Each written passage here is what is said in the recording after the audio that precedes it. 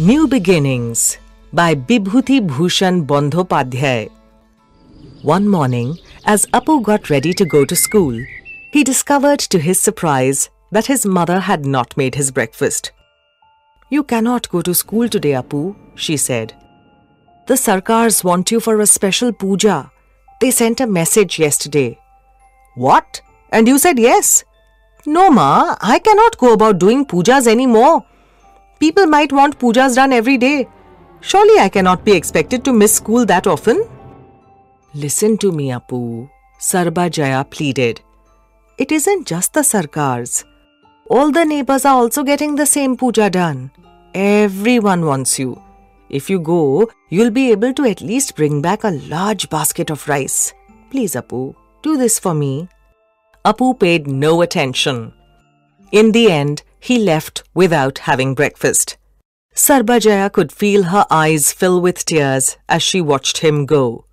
She could never have imagined Apu would pay so little heed to her wishes.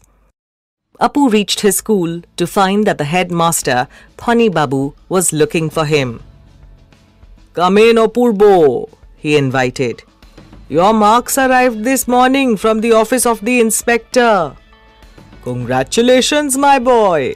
You stood first in the entire district. I am so glad you took the board exams.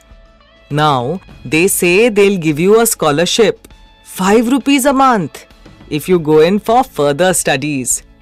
You'll do that, won't you? Before Apu could reply, his maths teacher entered the room.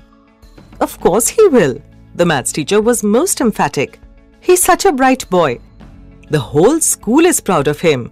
You needn't think any more about it, sir. Send the application right away. We all want him to go. Heavens, I worked so hard to get him to understand fractions.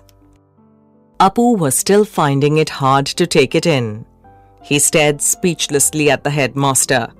Pani Babu pulled out an application form, scribbled a few lines on it, and offered it to Apu. Sign your name here, he said, pointing.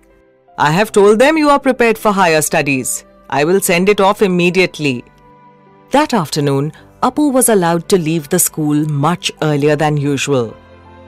As he made his way back through the green fields still full of bright sunshine, Apu thought constantly of his mother. He had left her looking very sad this morning. He knew how much pain he had caused her. Everywhere he looked, in the shadows under the banyan trees, in the call of the invisible dove hidden behind sal leaves, he could feel her pain.